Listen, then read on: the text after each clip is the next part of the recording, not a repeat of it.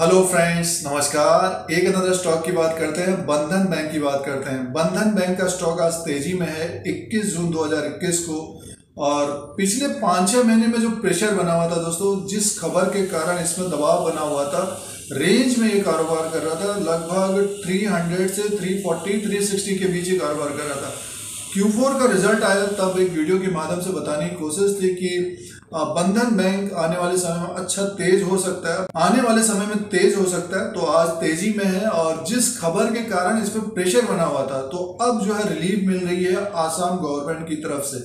आसाम में इनका काफ़ी अच्छा बिज़नेस है दोस्तों माइक्रो फाइनेंस में। और इलेक्शन से पहले जब आसाम में इलेक्शन होने थे तो लोन माफ़ी की बात थी। बट ये कि निवेशकों को पिछले पाँच छह महीने में निराशा हाल लगी थी, जो शॉर्ट टर्म के लिए कारोबार करते हैं और जो ऊपर के लेवल पे भी जिन्होंने लिया है बंधन बैंक को, क्योंकि निफ्टी फिफ्टी काफ़ी तेज़ी से ऊपर की तरफ़ गया बट बंधन बैंक का स्टॉक एक तरह से अंडर परफॉर्मर रहा है पाँच छह महीने के। तो लोन माफ़ी की वजह से इसमें अंडर परफॉर्म किया है। काफ़ी अच्छा बैंक है ये माइक्रो फाइनेंस में, और आसाम में इनका काफ़ी अच्छा शेयर भी है। सबसे पहले खबर को देखते हैं। एक नज़र फाइनेंशियल हेल्थ को देखेंगे और उसके बाद चार्ट पैटर्न के अनुसार भी बात करेंगे। यहाँ से क्या टारगेट हो सकता है ऊपर की तरफ़? दोस्तों, खबर ये आई है, in a major relief to micro finance institution and their borrowers the Assam government on Friday link an agreement with micro finance to regularise stress borrowers and repay the entire loan of highly stress borrowers. Also, as an incentive to good borrowers who did not default, the government will repay for each account 25,000 rupees. or the loan amount whichever is lower to the microfinance the total cost of the government will be a maximum of 8250 crore तो ये news है दोस्तों तो government की तरफ़ से major relief की बात बताई गई है माइक्रो फाइनेंस के लिए। तो इसी के वजह से बंधन बैंक का स्टॉक ऊपर की तरफ़ है। अब फाइनेंशियल रिज़ल्ट की तरफ़ ध्यान देते हैं तो लगभग तीन हज़ार करोड़ का इनका मार्च 2021 में इंटरेस्ट अर्न था और उससे पहले भी लगभग थ्री थाउज़ेंड करोड़ का जो है इंटरेस्ट था। और प्रॉफिट की बात करते हैं तो अब के क्वार्टर में 103 करोड़ का प्रॉफिट हुआ था, कम हुआ था और स्टॉक प्राइस लगभग 300 के आसपास था। तब काफ़ी निगेटिविटी थी मार्केट में।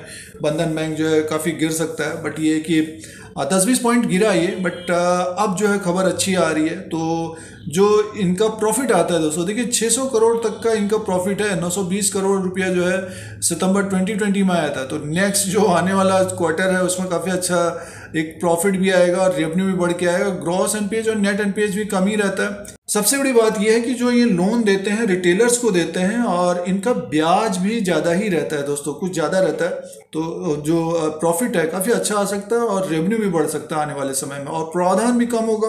लॉकडाउन भी खत्म हो रहा है अनलॉक अब चले न्यू लोन्स बांटेंगे जो पुराने लोन्स है, वो वापस आएँगे। और जो रेशियो है लोन वापस आने का लगभग ninety five ninety six percent का है। ज़्यादातर इनका कामकाज जो है बंगाल है आसाम है, इस तरफ़ काफ़ी ज़्यादा है। वहाँ पे अब लोन भी बटेंगे और जो लोन पुराने लोन दिए गए वो वापस तो रिज़ल्ट इनका बढ़िया आता है। एक नज़र शेयर होल्डिंग पैटर्न पे डालते हैं। मार्च 2021 39.99 परसेंट की शेयर होल्डिंग है प्रमोटर्स की और एफ़ की जो होल्डिंग है दोस्तों, वो है 34.91 का। तो एफ़ की होल्डिंग काफ़ी है और डी की जो होल्डिंग रही है, वो है 1.9 का। यानी मीन डी ने एक तरह से सेल किया है बट एफ़ ने अपनी होल्डिंग बढ़ाई है। और प्राइस परफॉर्मेंस की बात करते हैं, पिछले एक साल का जो रिटर्न रहा है फिफ्टीन परसेंट का रहा है, तीन साल का जो रिटर्न है थर्टी सेवन माइनस में है दोस्तों।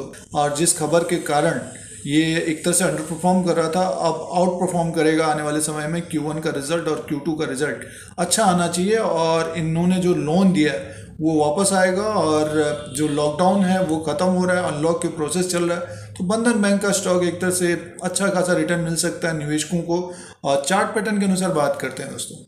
दोस्तों, ये बंधन बैंक लिमिटेड का चार्ट लगा हुआ है। चार्ट पैटर्न के अनुसार देखते हैं रेजिस्टेंस सपोर्ट और टारगेट की बात करते हैं। और ये जो लाइन ड्रॉ की है दोस्तों, ये ऊपर का रेजिस्टेंस है। और स्टॉक प्राइस है 335 के आसपास। तो सबसे पहले रेजिस्टेंस की बात करते हैं। देखिए, ये एक तेज़ी आई थी।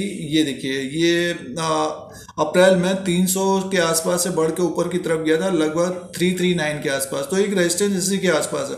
और स्टॉक प्राइस इसी के आसपास कारोबार कर रहा है थ्री थ्री फाइव के आसपास और थ्री थ्री नाइन के आसपास इसका रेजिस्टेंस है। इसके ऊपर अगर क्लोज होता है तो अपना नेक्स्ट जो टारगेट होगा, अगर किसी ने लिया है अभी या ऊपर के लेवल पे फंसे भी हैं तो 356 और 358 का एक टारगेट होगा दोस्तों।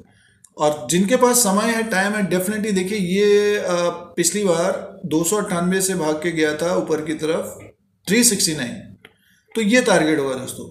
अब ट्रेंड में रहेगा स्टॉक अब न्यूज़ ख़त्म हो रही है अनलॉक का, का प्रोसेस चल रहा है और इसका जो क्यू का रिज़ल्ट है उसमें इम्प्रूवमेंट होगा। लोन बटेंगे।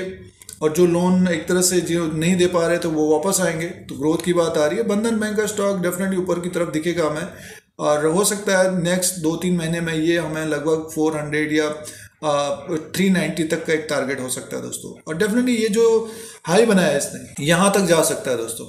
जिनके पास समय है टाइम है डेफिनेटली देखना चाहिए। बट जो शॉर्ट टर्म के लिए कारोबार कर रहे हैं तो तीन सौ छप्पन और तीन सौ सत्तर का एक टारगेट होगा।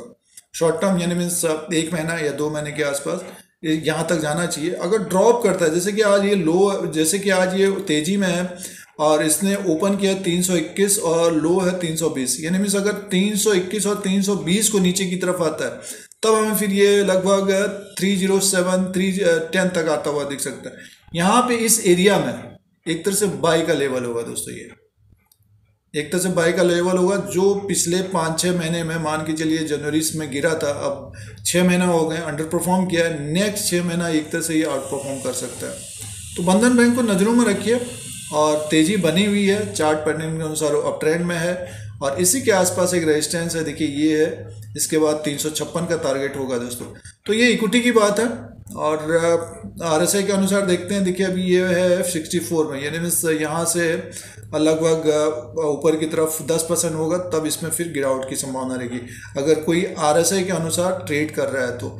और जिनके पास समय है, वक्त है यानी मीन्स छः महीना, एक साल देंगे तो डेफिनेटली ये स्टॉक ऊपर की तरफ़ देखेगा और ये जो हाई बनाया था 426 को क्रॉस करते हुए और ऊपर की तरफ़ जाता हुआ दिखेगा।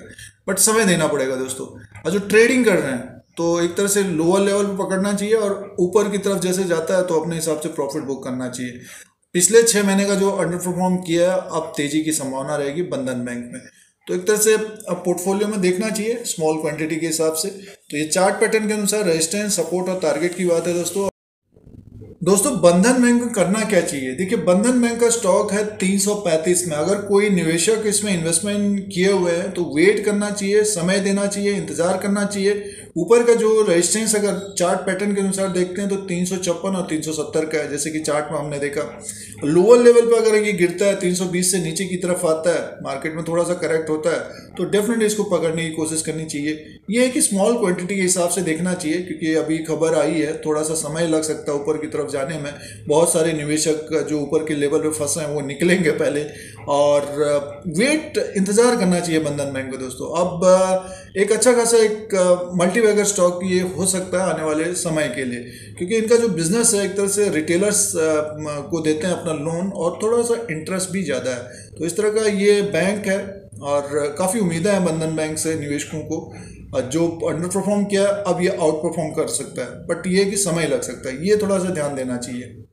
यूट्यूब चैनल पर बने रहने के लिए सब्सक्राइब और बेल आइकन को प्रेस करिए। आप लोगों को यूट्यूब की तरफ़ से नोटिफिकेशन मिलता है। जब भी नया वीडियो अपलोड होता है स्टॉक मार्केट की जानकारी न्यूज़ एनालिसिस सारा कुछ फ्री है। फिर कोई नया वीडियो लेके आएँगे। आज के लिए इतना ही। धन्यवाद।